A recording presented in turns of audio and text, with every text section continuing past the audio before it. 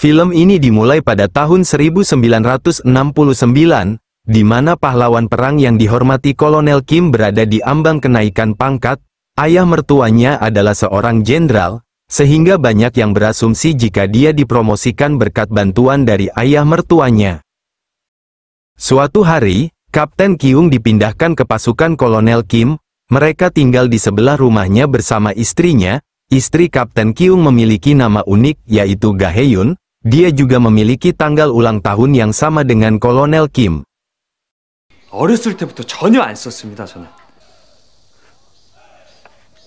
Meskipun banyak yang cemburu terhadap mertua dan istrinya yang cantik yang bernama Suk Jin, namun kasih sayang Kolonel Kim kepada istrinya sudah memudar. Itu karena gangguan trauma pasca perang di Vietnam.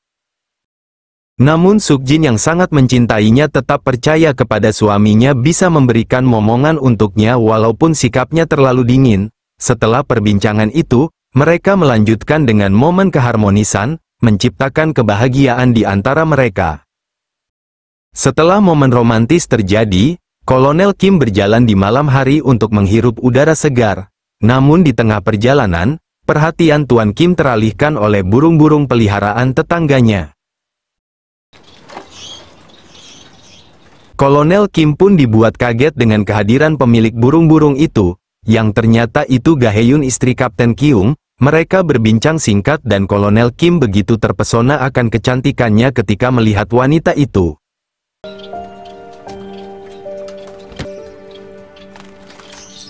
Keesokan harinya, Kolonel Kim diundang ke sebuah acara di rumah sakit militer yang diselenggarakan oleh istri para perwira yang menjadi sukarelawan, Ketika mereka sedang mengambil foto, Gaheyun kemudian tiba, para istri perwira tampak tidak senang dengan sikap lembut yang ditunjukkannya, terlebih dia yang paling cantik di antara yang lainnya. Saat di dalam rumah sakit, terjadi insiden di mana ada pasien mantan perwira yang depresi menyandra Gaheyun, Kolonel Kim yang melihat itu langsung mencoba menolongnya. Tapi pasien yang keras kepala tidak bisa diluluhkan sehingga terjadi sedikit kekacauan yang membuat pundak Gaheyun tertembak, Kolonel Kim kemudian memeriksa Gaheyun yang terluka. Namun dia malah khawatir tentang antingnya yang hilang. Setelah beberapa saat, Kolonel Kim meminta izin kepada Kapten Kyung untuk menjenguk Gaheyun. Di sana Kolonel Kim bertemu dengan ibu mertuanya Gaheyun yang akan beranjak pergi, Kemudian Kolonel Kim meminta maaf atas kejadian tersebut dan Gaheyun berterima kasih atas bunga yang ia berikan. Di sana Tuan Kim juga membawakannya makanan sambil menyuapinya. Dia juga berhasil menemukan anting yang sebelumnya hilang dan memasangkan anting itu atas permintaan Gaheyun, dan mulai dari sinilah tumbuh rasa cinta di antara mereka berdua. Hari berganti, Kolonel Kim nampaknya terus memikirkan Gaheyun. Dia tidak bisa melepaskan bayangan dirinya dari benaknya. Di sisi lain, Sok Jin akan menyambut tetangga baru mereka dengan mengajaknya piknik bersama, yang membuat hati Tuan Kim merasa senang dengan adanya acara tersebut. Singkat cerita, kedua keluarga kemudian piknik bersama, mereka menceritakan kisah tentang mereka masing-masing, di sini saling tatap antara Gaheyun dan Tuan Kim pun tersaji. Hari berganti, acara pesta perkumpulan perwira pun dilaksanakan, di sana juga dihadiri para petinggi termasuk mertua Kolonel Kim, namun tidak lama, pandangan semua orang teralihkan saat kehadiran Gaheyun yang begitu cantik dan anggun. Ketika salah satu petinggi meminta izin kepada Kapten Kyung untuk mengajak istrinya berdansa, di sini perasaan Kolonel Kim mulai kepanasan dan merasa cemburu, ia dengan sengaja mencoba menggagalkan dansa itu dengan mengambil mikrofon untuk bernyanyi. Namun upayanya gagal. Gaheyun dan salah satu petinggi tetap melakukan dansa itu. Kolonel Kim yang melihat hal itu merasa tidak kuat dan memutuskan pergi ke toilet. Saat di toilet, Gaheyun mendatangi Tuan Kim.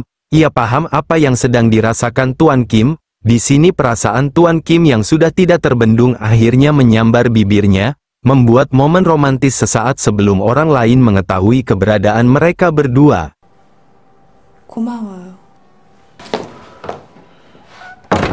Hari berganti, saat kedua keluarga makan bersama, Tuan Kim secara diam-diam menulis di kertas untuk mengajak Gaheyun bertemu, Gaheyun awalnya canggung, namun akhirnya ia menyetujuinya.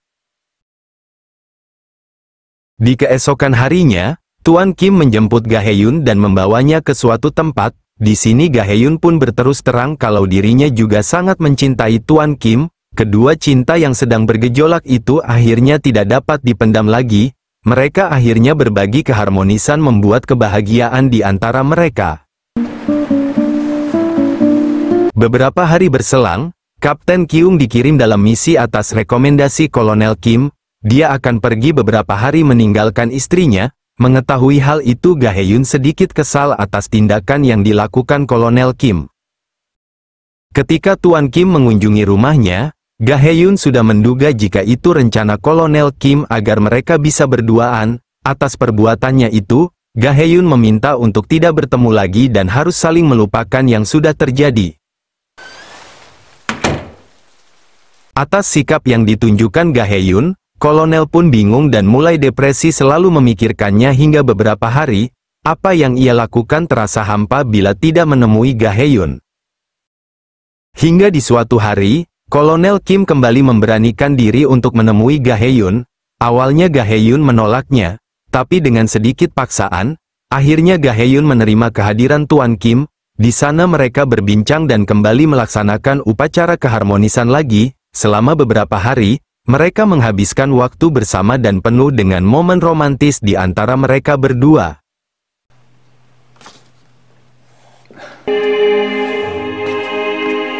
Hingga suatu ketika, akhirnya kolonel dipromosikan menjadi jenderal dan diadakan pesta untuk perayaan. Gaheyun dan Kapten Kyung juga tampak hadir setelah melaksanakan tugas di luar kota.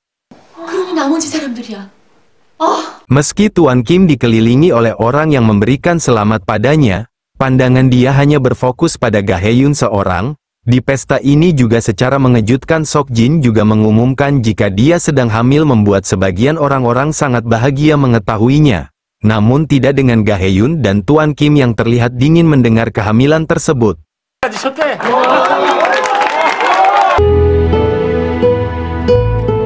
Ketika Gaheyun sedang memanggang daging di luar, Tuan Kim mendatanginya, memberitahu jika dia akan membawa Kapten Kyung pergi bersamanya ke Vietnam kembali. Di sini Tuan Kim juga mengajak Gaheyun agar bisa menyusulnya ke Vietnam. Namun Gaheyun menolak ide tersebut, karena kali ini ia benar-benar memutuskan untuk tidak akan pernah bertemu Tuan Kim lagi. Tidak dapat membendung perasaannya, Tuan Kim akhirnya berteriak kepada Gaheyun memperlihatkan hubungan mereka di depan semua orang, semua orang di rumah menyaksikan ini di mana Tuan Kim berteriak tentang mengapa Gayehun mau meninggalkannya. Sok Jin yang melihat ini sangat terpukul dan terhina lalu pingsan. Hingga akhirnya, ayah mertuanya yang kecewa terhadap Tuan Kim memutuskan Tuan Kim kembali dikirim ke Vietnam karena telah menghina putrinya dan keluarganya.